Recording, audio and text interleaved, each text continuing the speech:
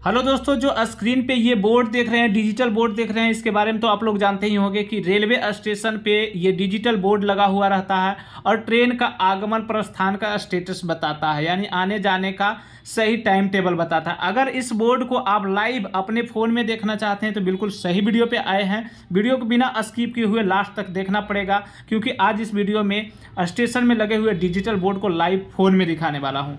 तो दोस्तों, उसके लिए क्या काम करना पड़ेगा? हम लोग को सबसे पहले प्ले स्टोर को ओपन करना पड़ेगा।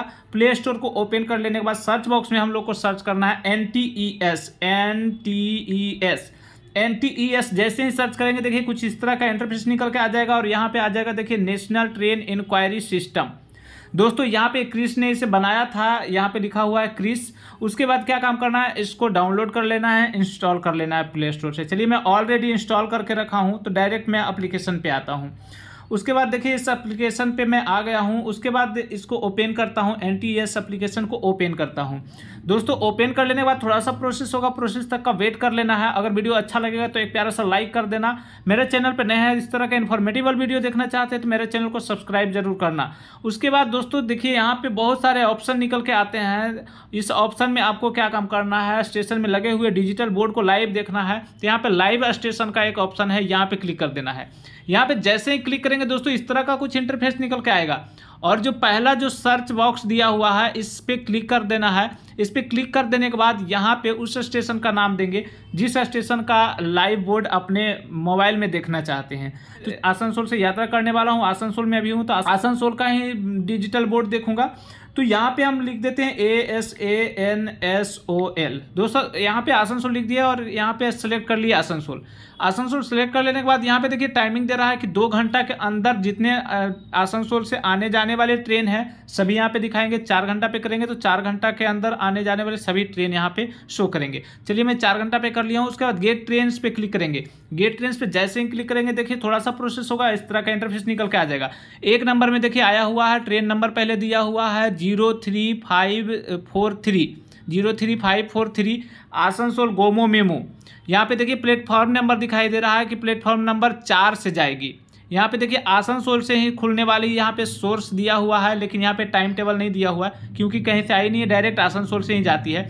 उसके बाद देखिए अठारह बज के दस मिनट में, यानी कि छः बज के दस मिनट में राइट टाइम पे ये खुलेगी। उसके बाद दोस्तों और दिखा देता हूँ मैं। यहाँ पे देखिए आपको दिखा दे रहा हूँ।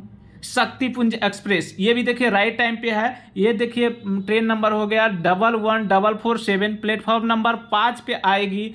कब आएगी देखिए, यहाँ पे उन्नीस बज के उन्नीस मिनट, यानी कि सात बज के उन्नीस मिनट में ये आएगी और सात बज के चौबीस मिनट में जाएगी राइट टाइम है। अब देखिए, उसी का नीचे टाटा आसनसोल एक्सप्रेस है, आपको प्लेटफॉर्म नंबर चार पे आए चार पे आएगी और दो घंटा अड़तीस मिनट लेट है, देखिए यहाँ पे, जो कि ये सत्रह बजे आने का टाइम था, यानी पाँच बजे आने का टाइम था शाम को, लेकिन पाँच बजे ये नहीं आ करके सात बज के अड़तीस मिनट में आ रहा है, यानी कि दो घंटा अड़तीस मिनट ट्रेन लेट है। उस दोस्तों, अब मैं बता दूँ कि इस ट्रेन का जो यहाँ पे रनिंग स्टेटस है, वो कैसे देखेंगे? इस ऐप से आपको रनिंग स्टेटस भी दिखाई देगा। यहाँ पे देखिए रनिंग स्टेटस यहाँ पे क्लिक करेंगे तो देखिए उसका रनिंग स्टेटस दिखाई देगा कि अभी ट्रेन कहाँ पे है।